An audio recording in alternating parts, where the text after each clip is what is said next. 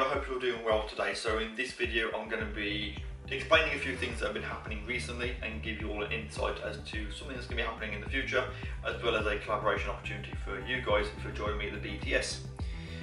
So the first thing is that my collection at the moment is downstairs and the reason for that is because I'm redoing the room that I keep all of my animals in um, to have like more studio kind of setup. So of course all my animals will be back in there. I'm also going to be having a photo wall so if you have photos with me, it shows and things, uh, they will be on the wall which I'll be used when I do like general vlogs and in the back wall is where I'll have my fan mail.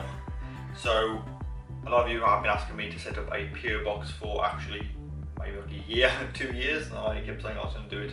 I never got around to it, but I do now have a uh, set up, although it won't actually be in use till the 10th of May, so it's like another sort of few days. But uh, it is set up ready, and I will put the information for that in the description. Uh, so if you are someone that wanted to send me anything, you are more than welcome to do so. And when I do any sort of fan mail openings, I will do so with my fan mail wall when that's finished and then it will all be pinned there so you can all see uh, the stuff that you send me, I guess. But uh, yeah, I do finally have a PO box and uh, I look forward to seeing what you guys send me. A lot of you have been asking me to get a PO box for quite some time now, so it's about time I finally got it sorted. So next up, when I went to uh, Budapest and Croatia recently to do some collaborating with Petco from the Dark Den, I had an amazing time and uh, yeah, we got quite a lot of stuff done, but a few people were like, oh, can you do this, can you do this, can you do this? And I didn't have those messages until I was actually back home. I think people thought I was staying there longer than what I was.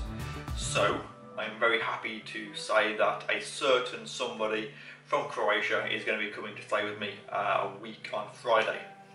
So uh, not very long, uh, just under two weeks now. And he's going to be coming here to do some filming with my collection and I've got some other little collaboration ideas planned. If you are someone that has another idea for what you'd like us to do, uh, let me know in the comments below and if we are able to do it, then I will do it. I think it would be a good laugh to get as much filming done with Petco while he's over here. I'm sure he will enjoy it as well and uh, we can get plenty of videos done. And finally, uh, before we get into looking at all of this, there is the BTS collaboration. Now, me and Petco are going to the BTS. We're going to be filming it, um, filming it properly, might I add. Uh, not just walking around the show filming it, but we're actually going there early and have we'll hopefully make a really, really, really good video of the BTS for all of you to enjoy. But I am going to be doing a collaboration with pretty much anyone who is at the show. Uh, I won't say what it is it's going to be very different to how it's normally done. And all I'm going to say is that if you are going to the BTS, uh, come and find me and say to me, I want to be in your collaboration, and I will drag you off somewhere and film something. I won't say what it is, um, but the footage will be uploaded into a video, and I think it'd be quite cool. Uh, you guys don't know what it is. I'm not going to tell anyone what it is because I don't want anyone to try and copy it. I figured this would be uh, something very different, no one's done it, and you yourselves, whether you're another YouTuber or a subscriber or just someone that has happened to catch this video who will be in the show, if you want to be in one of my videos, then uh, that's what you gotta do. Just go and find me and ask, and uh, it should make for a really, really good video.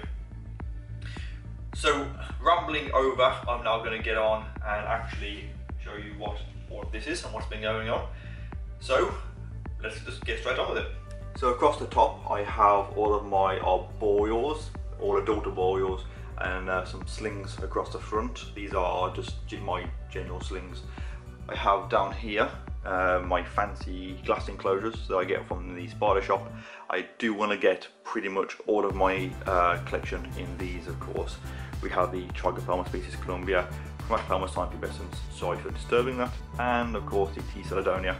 There's also my huntsman spider, who I think is just up there. I don't know whether you'll be able to see it or not. Probably not. Um, who's molted like twice, and I haven't actually got the molt out yet. Um, Charles Marinus, a few slings there. Try not to trip over things.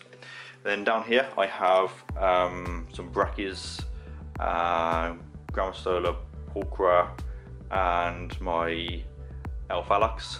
Now, these are actually double double tiered so if I just sort of move that out of the way you can see that there is another one behind So these are sort of too deep, shall we say. Uh, the um, Pamphobeteus, uh, my last Pamphobeteus mother one's matured, which is a bit of a shame. And, oh, my scorpion's actually out for once. You can actually see that just down there.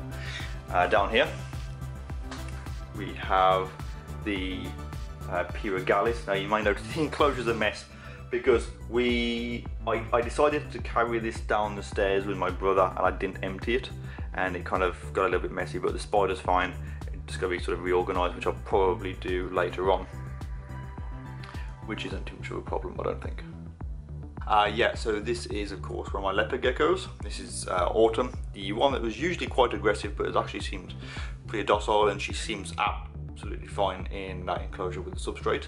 I have here a fish tank. Uh, this was brought for me yesterday by my brother. He got back from work and there was a guy that had this fish tank, didn't want it, so um, he's given it to me. Uh, no money was exchanged, which was very kind of him.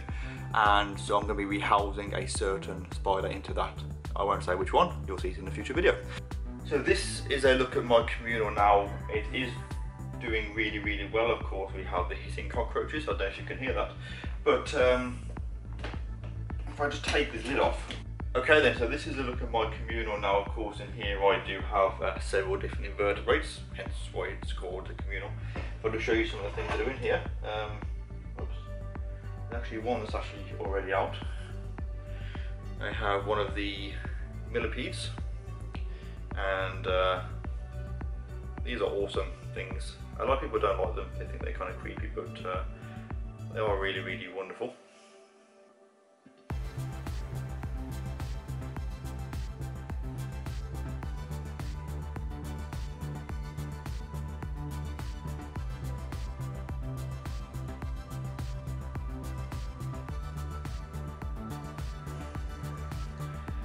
Have, if you can see these on here, um, I have loads of woodlouse. Um, I think I have four different species of isopods. I sort of breed these uh, for cleaners. I put them in with my tarantulas. They don't harm the tarantulas and they uh, just go around and just feed. I don't know how well you can see any of them, if you can see them at all. Um, but there are quite a few that's like in the wood, chilling out. I'll try and get a better, a better look at one for you.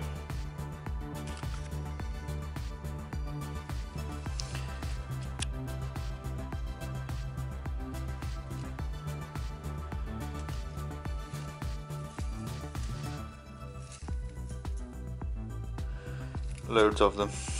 Absolutely loads. And of course I have cockroaches. I have the uh, Madagascan hissing cockroaches. So yeah, as you can see, these are quite big, um, as in they're very large, they're bulky, and these are also really, really well uh, fed. They eat an awful lot, and sometimes, if I can get it to do it, yeah, also not going. They normally do like a hiss, hence why they're called hissing cockroaches. And uh, yeah, these are, whoops.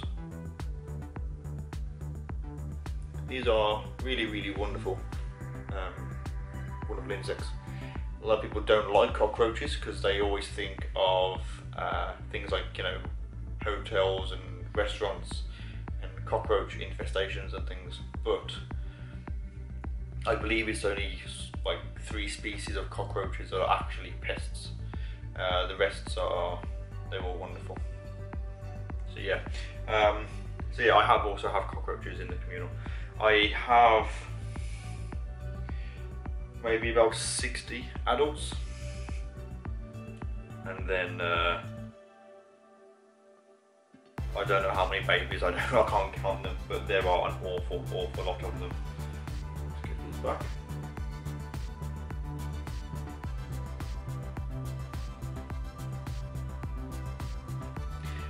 And they are wonderful. So, I mean, they are. Uh, I know people don't like these, but they are.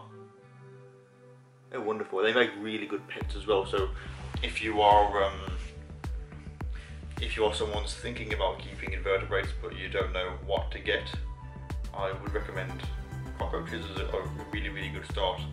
Um, they don't smell, they eat pretty much anything that you put in there. They don't bite, they don't fight with each other. Um, they do breed as well. Uh, these ones are hard to breed. The best ones are like the dubias and things, but, but yeah, these are wonderful. So yeah, let's look at my, uh, my cockroaches, which are wonderful. I don't know why they get so much hate. And these aren't food either, uh, these are pets, pet cockroaches. So something else that's worth pointing out to you guys as an update, I guess, uh, the beetles that I had. Uh, sadly, I checked on these yesterday, and out of five, I only have two left. Uh, they, the other just sort of died for some reason. I don't know why, because they all kept exactly the same. They were fed the same and everything. Um, I do have one that's still a decent sized grub. It's what I would call a face only a mother could love. So I shall call this one Josh, after my brother. Okay then, so this is Gix's tank. You can see how that's set up. I did that in a fairly recent video. Nothing really exciting to show there. Um, he's currently down in his little hide, so uh, I shan't be disturbing him. So next up is this delightful little uh, cow bag, which is Ramsey, my bearded dragon. She's currently enjoying some cucumber. She's on a salad day at the moment and she can see that I'm talking about her. She's in a good mood today? No, she's not. Yeah, uh, this bulb has gone as well, so I've actually ordered another bulb on Amazon, which will be here this afternoon. So today she's having a day without any heat, which is why she might be a little bit grumpy. Yeah, she's grumpy.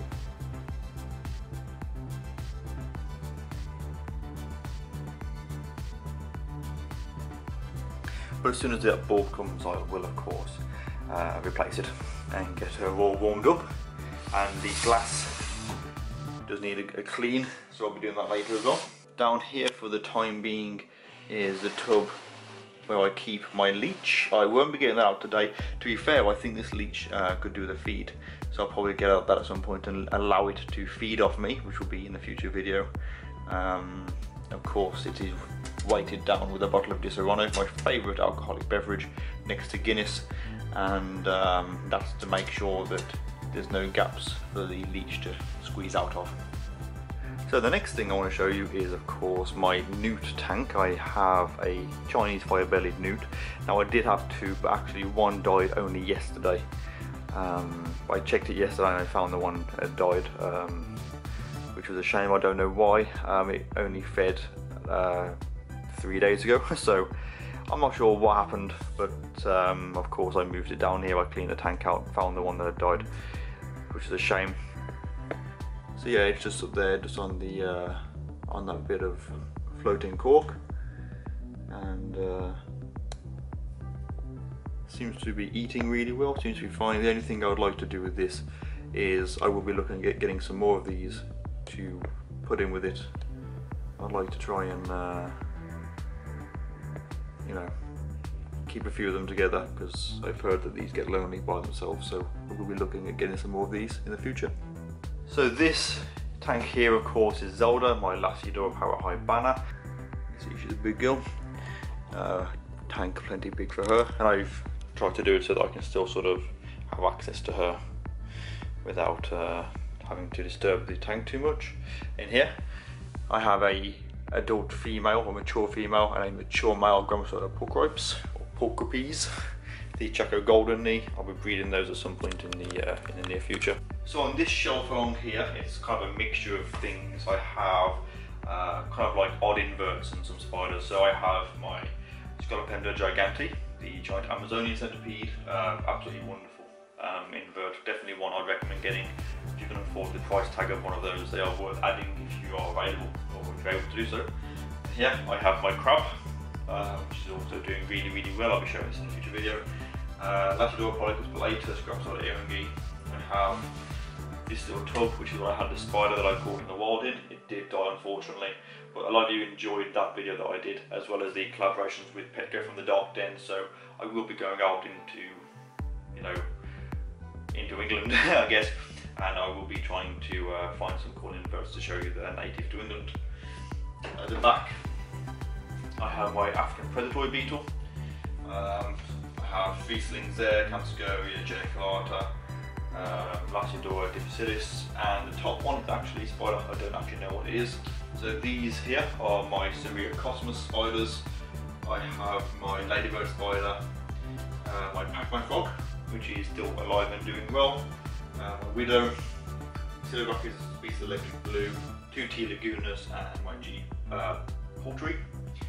So um, sort of standard spiders along there. So the top shelf here is just kind of other stuff I guess. I have um, a couple of like models and things of some video games. Of course, when I get my Spyro exclusive statue from First Figures, that'll be up on here as well. I also have this really, really cool um, display piece of spiders. So there's like a Theraphosa blondi, um, and pokies and other sort of spiders, as well as if you can see it, if I lift, I have to lift the tripod up for this bit. Um, but there's um, some beetles, praying mantis, leaf insects, uthicas, moths, egg sacs. Um, so, you know, quite a quite a cool display piece, really. At least I, I think it's quite a cool display piece. And um, yeah, I actually won that in a raffle, so that's pretty awesome. Of course, here is my Monocentropus balfouri communal, which is doing really, really well. And over here, my um, orb weaver which is doing really, really well. And I don't know whether you'll be able to see it in the video. I'm not going to be moving this enclosure at all, to be fair, I really don't stress out. And I know I'm in the video, I apologise. Um, at the back, she did an egg sac, and it has actually started to hatch. There are some uh, little teeny tiny orb weavers, so I'll be doing a full update video on that in the future. So that's a look at my collection and sort of a few things I wanted to mention to you. I hope you've enjoyed it and it hasn't been too long of course. If you enjoyed the video, leave me a comment, let me know what you think and of course give a thumbs up. And if you aren't subscribed, please do subscribe and hit the bell uh, notification so that, that you don't miss my future uploads. It does really help me out. And of course, if you would like to support me, I do have a Patreon, which there'll be an annotation at the end of the uh, video, as well as a link in the description. So as always, thank you for watching everyone, take care, and I'll see you all soon in the next video. Goodbye for me.